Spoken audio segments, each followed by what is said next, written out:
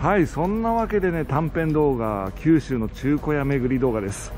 確かこれ漫画倉庫の久留米店だったかな。買い取りはわかるけど換金って何ぞやっていうね。まあツッコミはさておき。あそうだそうだ書いてある書いてある。はい。漫画倉庫久留米店です。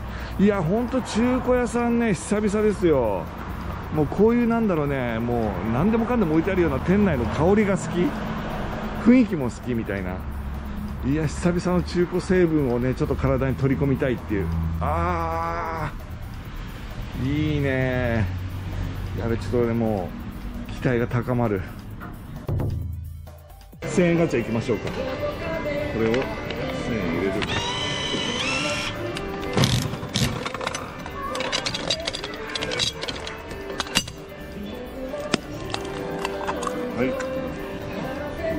はいパトロール終了です。まあ入り口はねプライズ機は並んでるんですけれどもまあ奥はねあの服とかゲームとかカードとかまあこういったお店にありがちなラインナップまあ電動工具とか何でもありましたね。うんその中でねあの1000円ガチャ1回やって1100円当たったんですけど欲しいのがなかったんだよね。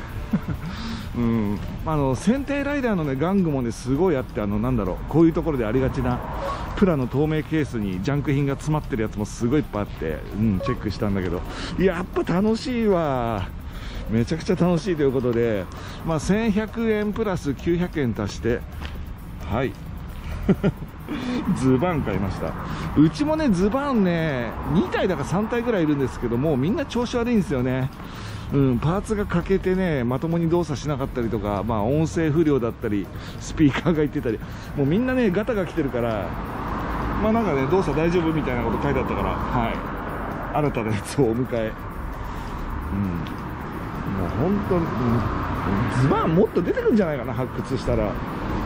ただやっぱりね中古ゲームなんかもねいろいろあったし、今ねちょうど子供ちゃんが中で駄菓子を買ってるんだけど。いやあと何店舗もあるか分かんないけど、まあ、プチ動画として、はい、撮ります。一応なんかね、佐賀の方にもあんのかな、うん、まあ、中古屋巡りだけじゃなくてね、普通の玩具屋さんもあったら寄ってみようかなと思ってます。まあ、そんなわけでの1店舗目は、こちら、漫画倉庫。